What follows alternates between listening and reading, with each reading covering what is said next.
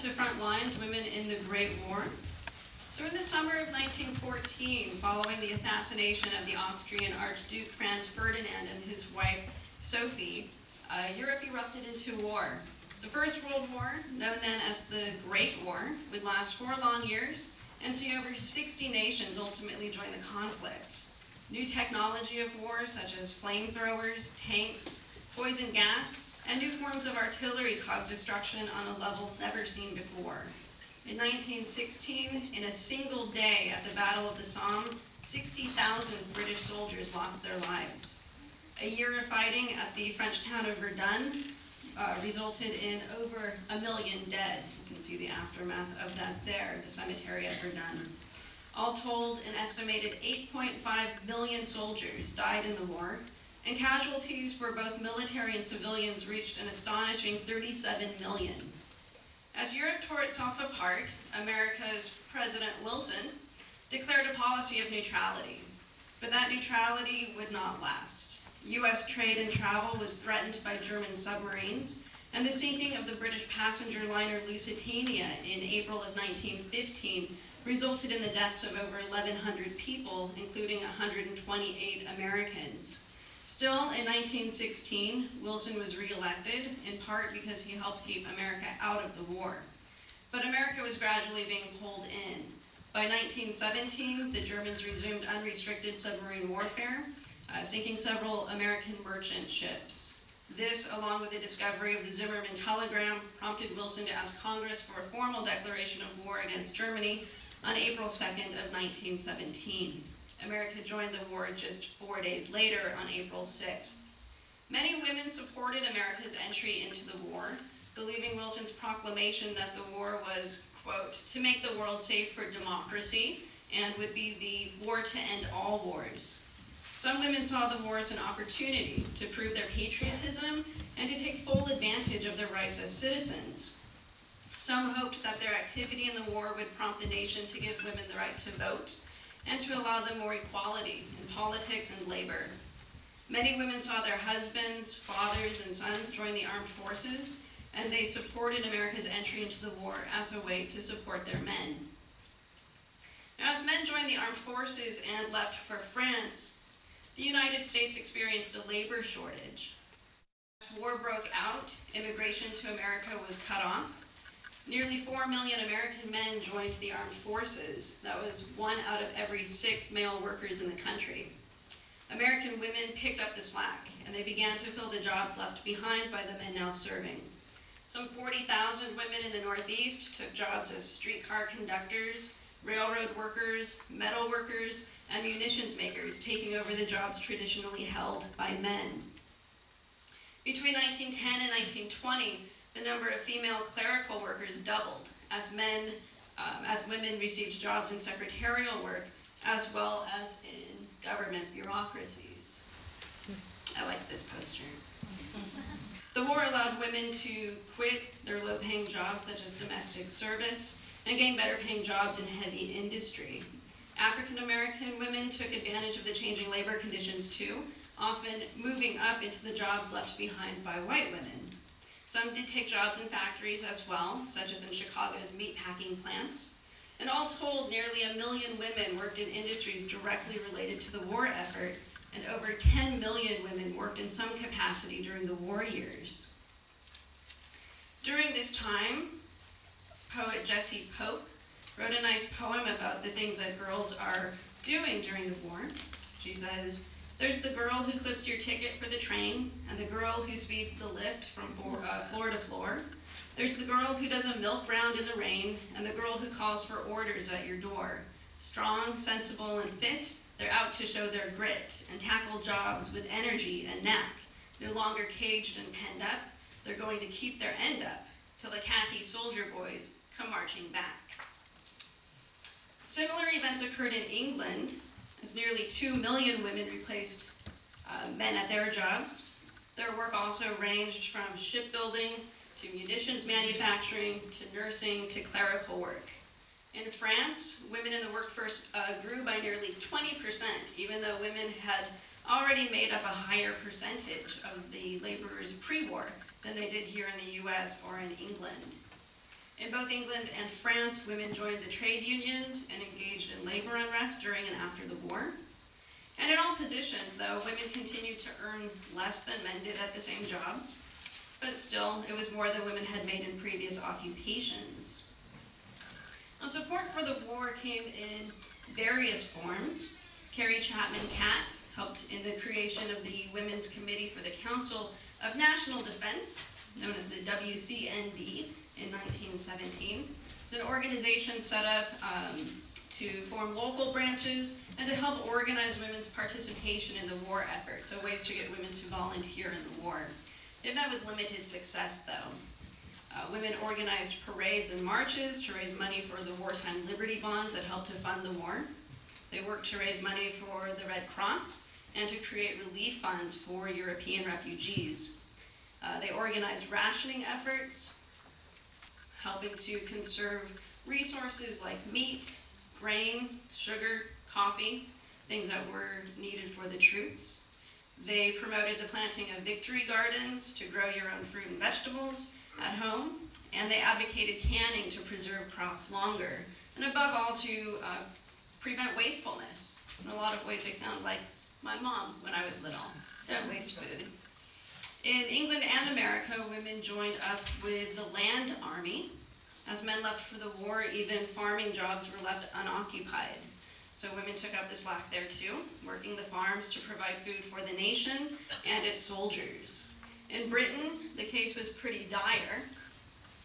They imported more than 50% of their food supplies uh, pre-World War I, and after 1914, you have German submarines blockading the island nation and preventing supplies from arriving.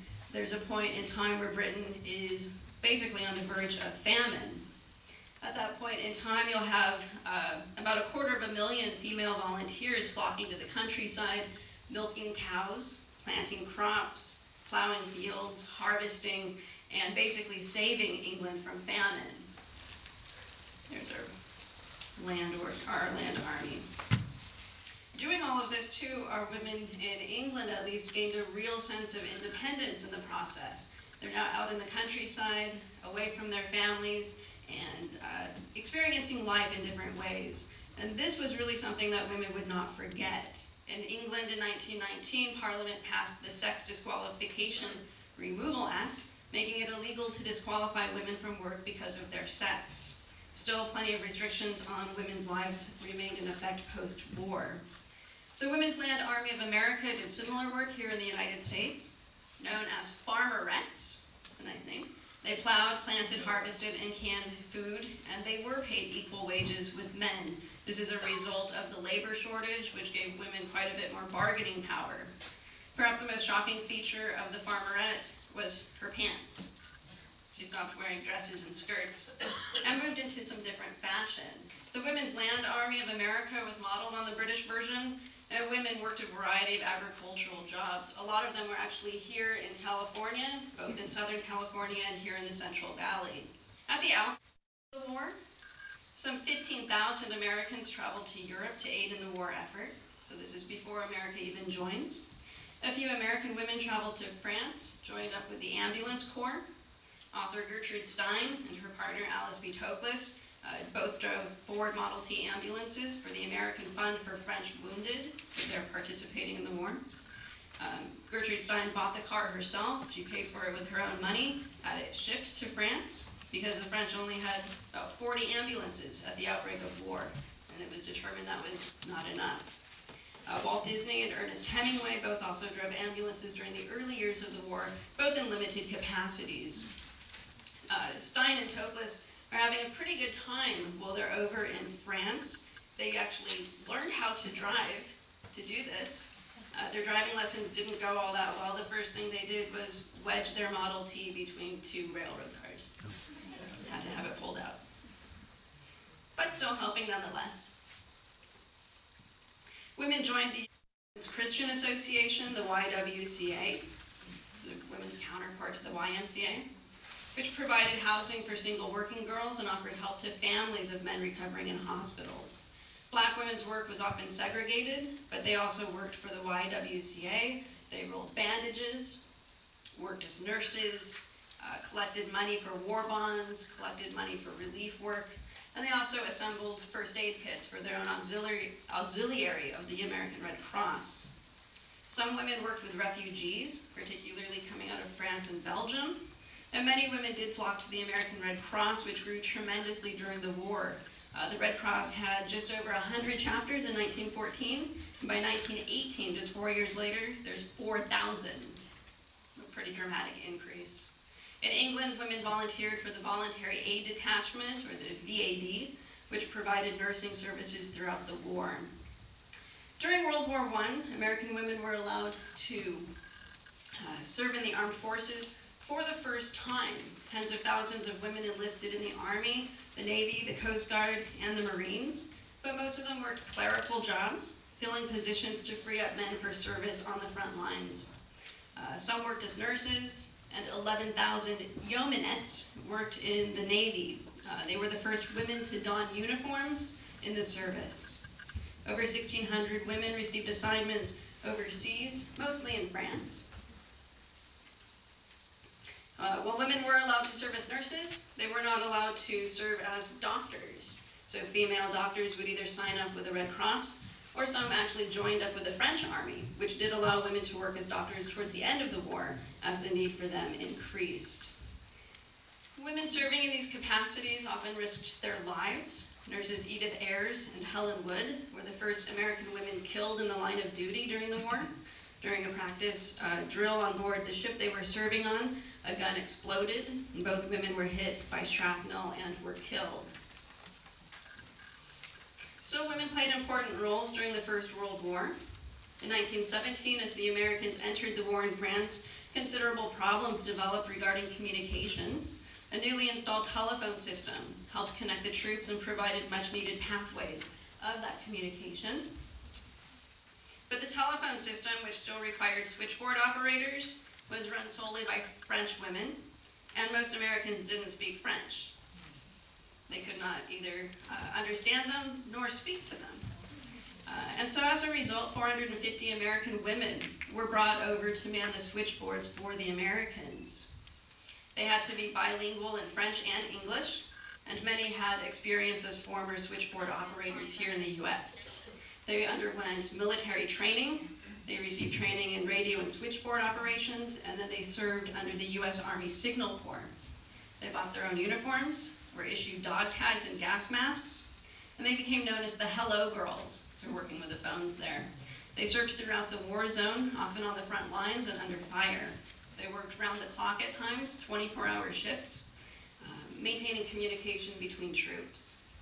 At war's end, the Hello Girls asked for an honorable discharge.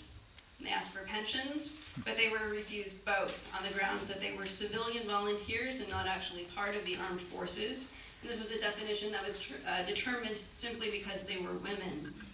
Most of them returned home and then disappeared into their normal lives. It's not until 1978, President Jimmy Carter finally recognized their work in the war, um, gave them veteran status, but at that point, most of them had already passed away.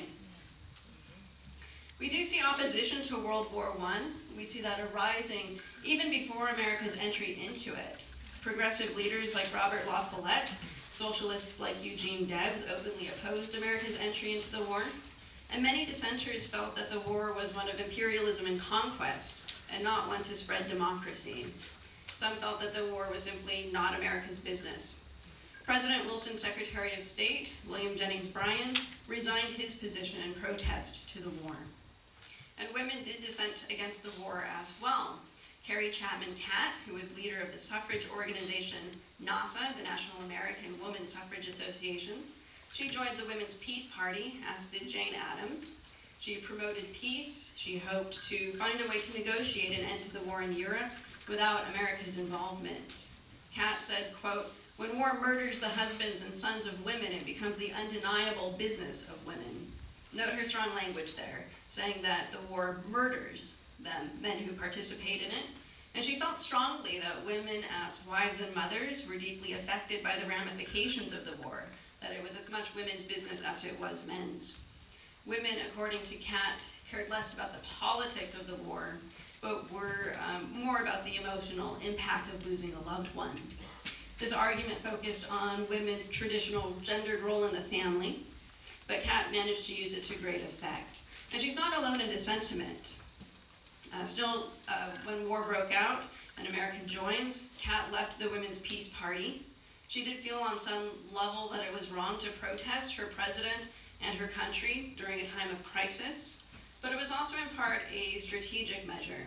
Uh, she felt that if she promoted women's work, uh, their patriotism, and their support of the presidency, she could hopefully use it later to gain the right vote. She was always a very shrewd politician, um, even though she sometimes disguised it when it benefited her. Under Catt's leadership, the uh, NAWSA, through its backing behind Wilson, supported America's entry into the war, so she switched sides. Still, others stuck to the idea of dissent despite the unpopularity of such a stance. Jane Addams, who is a founder of the Settlement House movement in America and an advocate for immigrants and laborers, she took a very strong stance against the war. The Settlement House movement uh, sought to aid immigrants in America's urban centers, uh, providing services such as free daycare, health uh, clinics, employment centers, uh, various classes, um, and even America's first public uh, playground. By World War I, Addams was the most famous woman in America and a critical player in the progressive movement, heavily involved in American politics. She served as the head of the Women's Peace Party. She gave frequent lectures and strongly opposed America's entry into the war. The Women's Peace Party formed state branches and employed maternalism, believing that women's special position as wives and mothers gave them a unique perspective on the war that men simply could not understand. It was the same position that Carrie Chapman Catt is taking. And now while this allowed the WPP to promote peace, it also upheld traditional gender roles, viewing women as maternal, emotional, and active. The stance of these women was reflected in the popular wartime tune, I Didn't Raise My Boy to Be a Soldier, which tells us 10 million soldiers to the war have gone, who may never return again. 10 million mothers' hearts must break for the ones who died in vain. Head bowed down in sorrow in her lonely years, I hear a mother murmur through her tears. I didn't raise my boy to be a soldier. I brought him up to be my pride and joy. Who dares to place a musket on his shoulder, to shoot some other mother's darling boy? Let nations arbitrate their future troubles. It's time to lay the sword and gun away. There'd be no war today if all mothers would say, I didn't raise my boy to be a soldier. It was one of the first true anti-war songs, and of course it met with both criticism and acclaim. The peace movement loved it, Teddy Roosevelt hated it, and many parodies of it popped up at the time, including, I didn't raise my boy to be a coward, and I didn't raise my girl to be a voter. In early 1915, 50, uh, 47 members of the Women's Peace Party joined an international peace conference in The Hague in the Netherlands. Jane Addams was one of the attendees. All told, some 1,300 female pacifists gathered at the convention representing 12 different nations. Here they spoke up against the war and debated ways to bring it to an end through mediation and negotiation instead of violence. They also promoted the idea of women's suffrage. Together, they, they, created the Women's International League for Peace and Freedom, which is an organization that is still around today, continues to work for peace, equality, and an end to exploitation and oppression. Upon her return from The Hague, Addams tried to meet with Wilson to discuss her ideas, and when she couldn't get his attention, she uh, stalked Henry Ford, got financial backing from him, and traveled to Sweden on the Ford Peace Expedition to Stockholm, yet another peace conference. Her activity for peace continued throughout the war. She faced booing crowds, the press abandoned her, and she was frequently accused of disloyalty. But in 1931, Jane Addams became the first American woman to win the Nobel Peace Prize for her both in the settlement house movement and in the political sphere as an advocate for peace and arbitration. Not all politicians supported America's entry into the Great War either. In Congress, Six senators and 50 representatives voted against America's entry into the war. Jeannette Rankin, a representative from Montana, was the first woman to serve in Congress, and in 1917 she was actually the only woman in Congress. She answered the roll call by saying, I want to stand by my country, but I cannot vote for war. I vote no. She would later lose re-election, probably because of her stance against the war, but she would rejoin the House of Representatives in 1940, just in time to be the only dissenting vote on entering World War II against Japan following the events of Pearl Harbor. She justified her position saying, as a woman, I cannot go to war, and I refuse to send anyone else. Her position was, of course, unpopular. After America's entry into World War I, Wilson set out to maintain public support for the war, noting that if there should be disloyalty, it will be dealt with with a firm hand.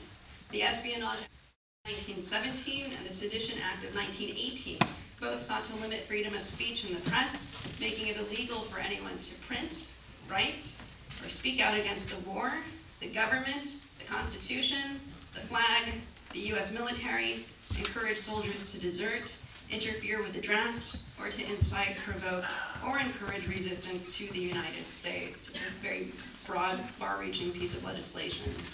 Together, the Espionage Act and the Sedition Act represented the most drastic restrictions on freedom of speech and freedom of the press since the Alien and Sedition Acts of 1798 during John Adams' administration.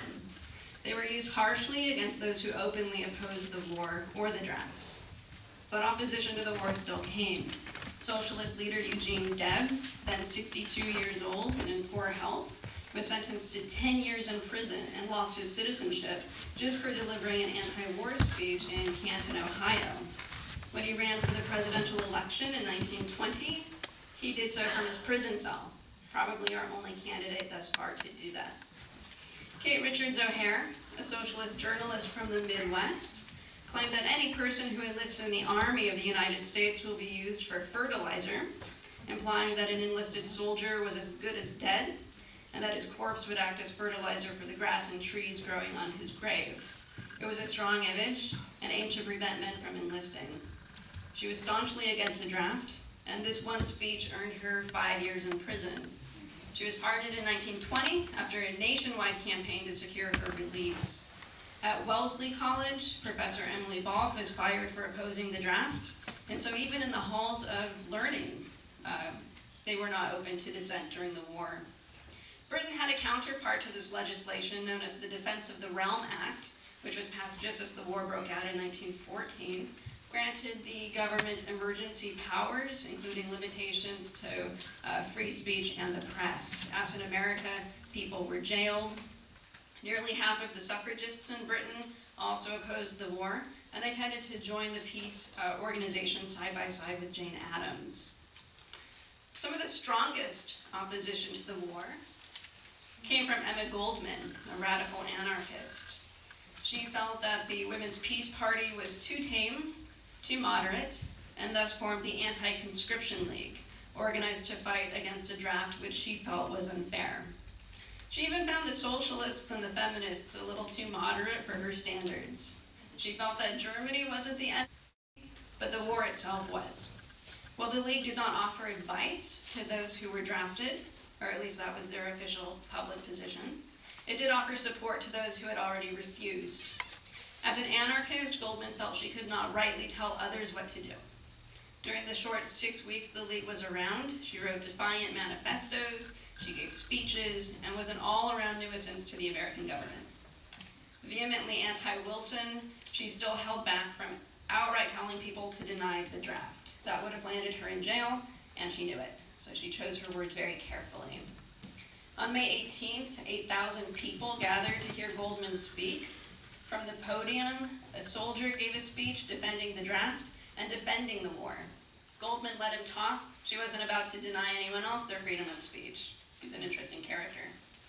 The following month, she gave a speech declaring that the draft would create a funeral march for 500,000 young men. People in the audience yelled at her, go back to Russia. And they threw light bulbs and glass at her onto the stage.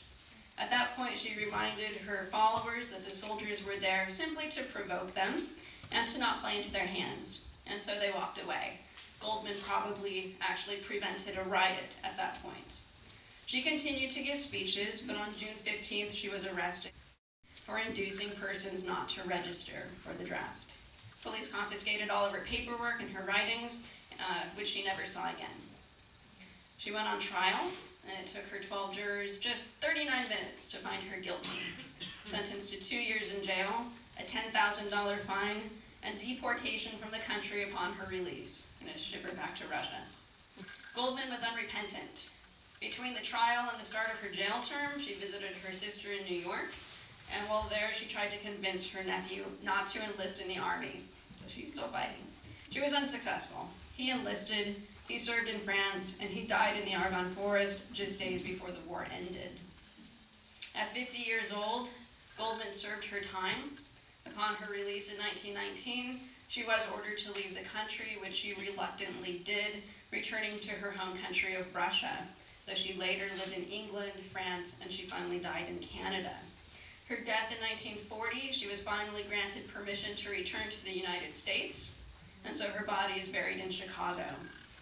Now, Carrie Chapman Catt, Jane Addams, and Emma Goldman are each representative of women's varying political ideologies and experiences during the war. While Catt remained political, she backed off when the war uh, raged on. She reversed her stance, supported Wilson.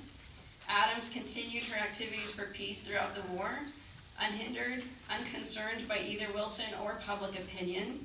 And Goldman was the radical individualist, fighting her beliefs at whatever the cost.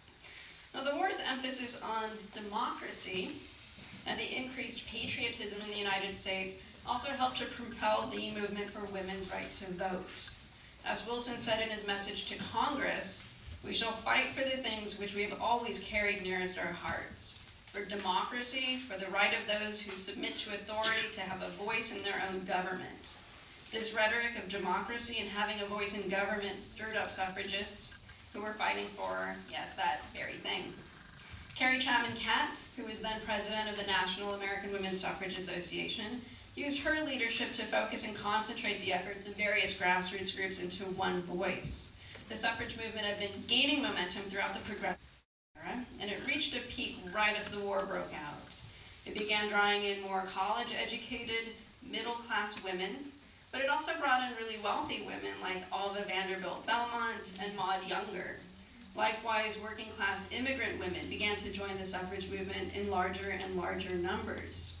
By World War I, the American suffrage movement had a relatively large class base, though it remained primarily a white woman's movement, as it would throughout its existence. Alice Paul, on the radical side of the movement, formed the National Women's Party in 1916, breaking off from NAWSA. Alice Paul and her fellow radicals picketed the White House 24 hours a day, carrying large posters and often using Wilson's own words against him.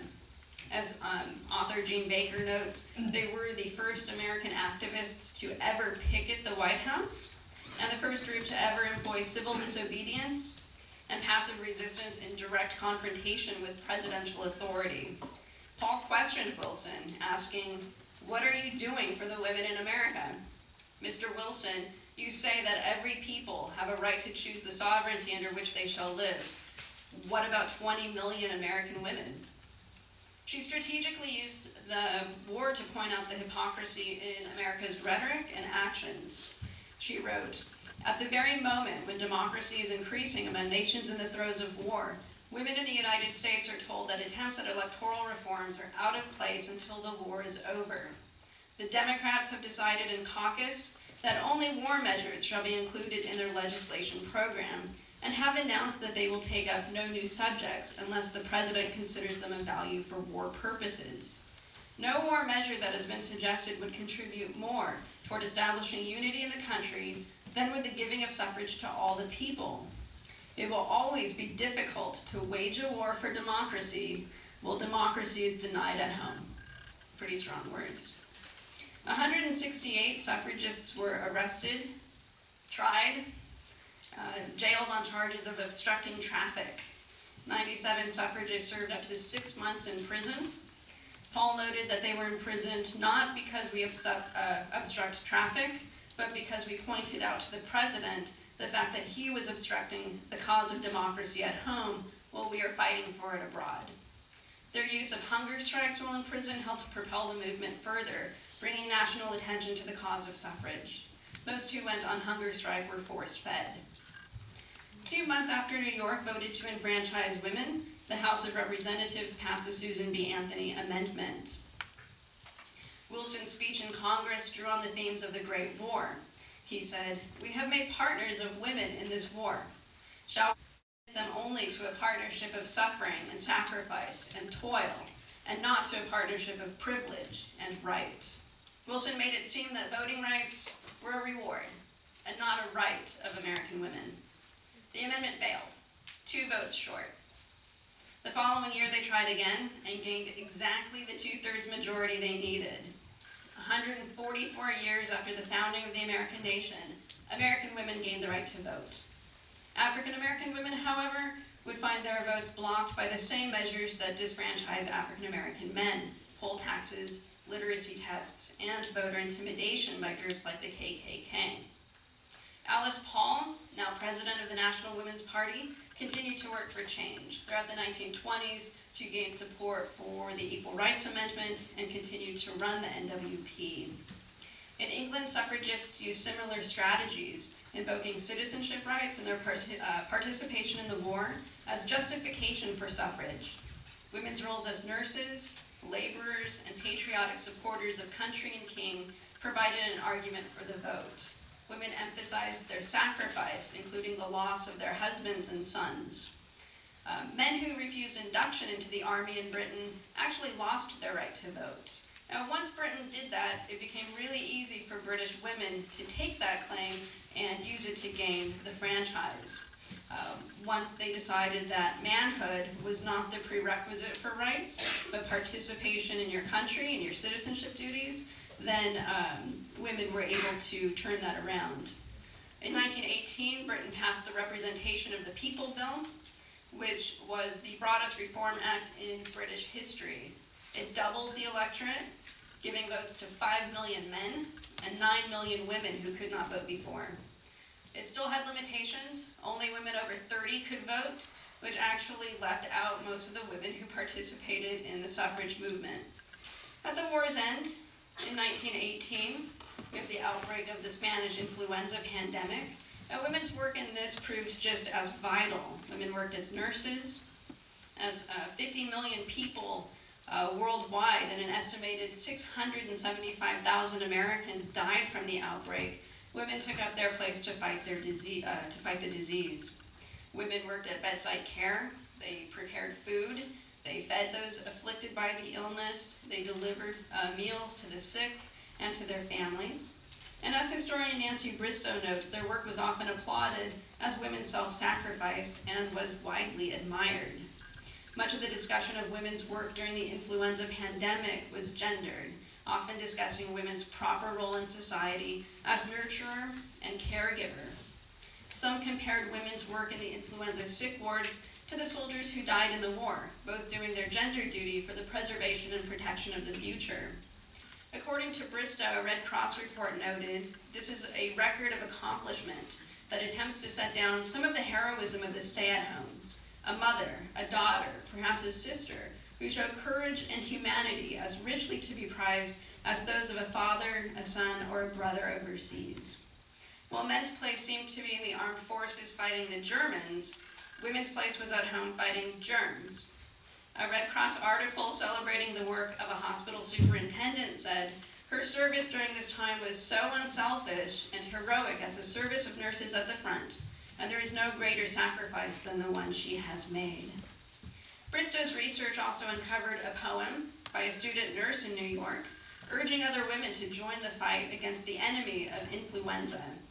Titled Your Chance, the poem relates you who longed for a chance to fight hand to hand with a foe, braving death, do you not understand that the worst foe is here? And so here is our chance, for all of the fighting is not done in France. You women who thrilled with fine purpose before, it is now you are needed, for this is our war. The magazine it was published in noted the author died from pneumonia during the pandemic, as did many women who worked, excuse me, as nurses during this time.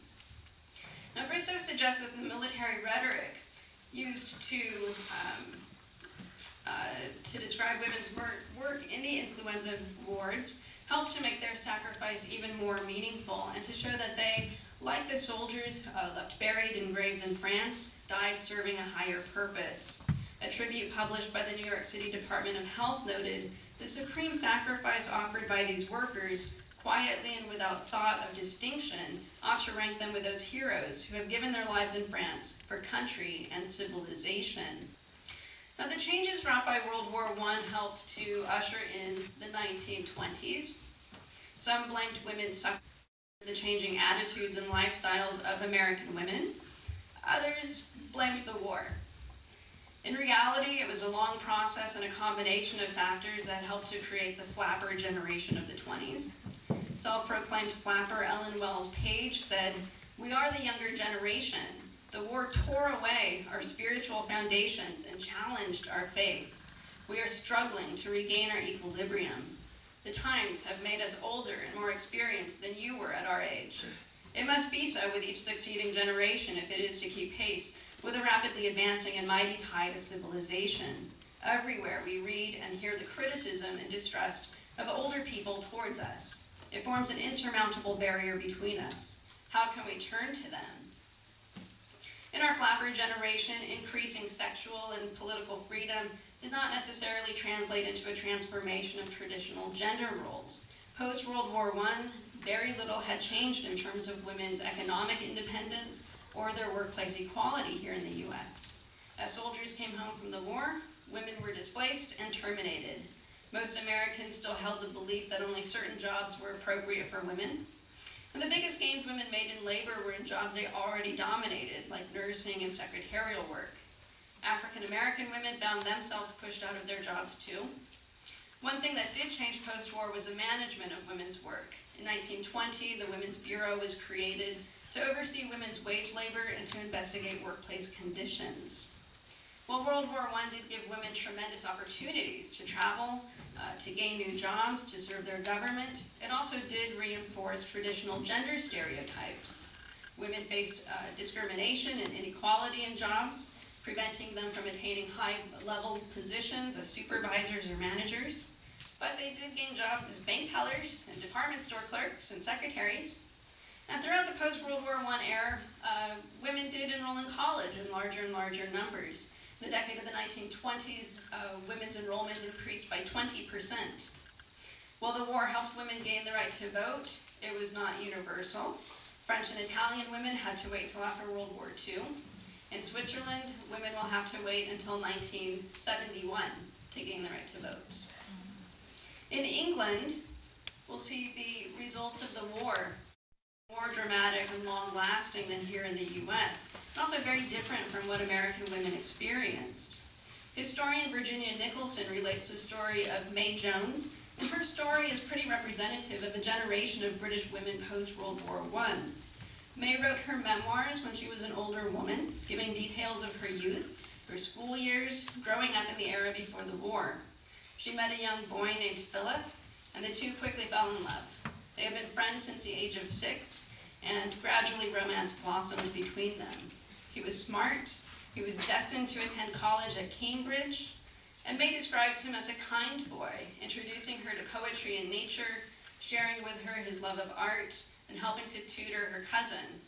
The two were inseparable and began planning a wedding after five years of courting. Then the war erupted. As a pacifist, Philip refused to fight and he spent time in jail where he learned first aid and how to treat the wounded. When he was released, he felt he should put those skills to work, and he volunteered to go to France. He carried no gun, but he retrieved the injured from the field of battle. May waited patiently at home until Philip was due home on leave. According to Nicholson, as May wrote her memoirs some 60 years later, everything remained vivid. She wrote, Then everything was shattered.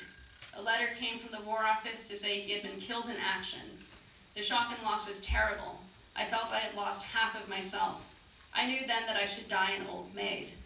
In faint letters penciled in the margin, she added, I was only 20 years old. And there her memoirs end. We know nothing else about her.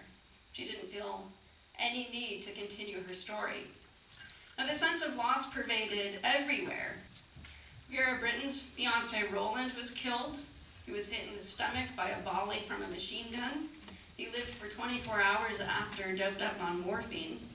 As a nurse, Brittain understood exactly what Roland's death meant the agony, the pain, the fogginess of the opiates, the knowledge that he likely died not even thinking of her or his loved ones, but in a haze of pain and drugs. She wrote, One recovers from the shock, but one never gets over the loss, for one is never the same after it. I have not used to facing the long, empty years ahead of me if I survive the war, but I have always before me the realization of how empty they are, and will be, since he will never be here again. And what was the point, she often wondered. She tortured herself with Roland's loss for years. After spending a beautiful spring day outdoors, she wrote, Suddenly I remember, Roland is dead, and I am not keeping faith with him. It is mean and cruel, even for a second, to feel glad to be alive. As a novelist, Irene Rathbone asked, What was the use of winning the war if none of the men who won it were to live? In 1917, the senior mistress of a school for girls in Britain addressed her students at assembly. She says, I have come to tell you a terrible fact. Only one out of ten of you girls can ever hope to marry. It is a statistical fact. Nearly all the men you might have married have been killed. You will have to make your own way in the world as best you can.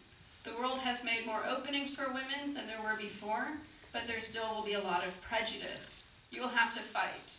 You will have to struggle. In 1918, at war's end, there's a surplus 2 million women in Britain. 2 million more women than men. The schoolmistress was correct. There would not be enough husbands to go around. Some women would have to create their lives without men. Single women were everywhere in the 1920s and 1930s, and they did develop independent lives. They learned to live for themselves and make new meanings of their lives.